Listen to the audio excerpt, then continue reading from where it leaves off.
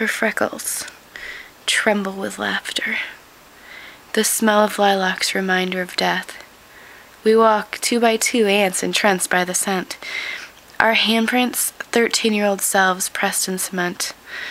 Brittle flowers pressed between pages. We burst into flames, causing us to die, to be reborn. Blue skies melt, leaving an orange afternoon. A friend becomes a stranger.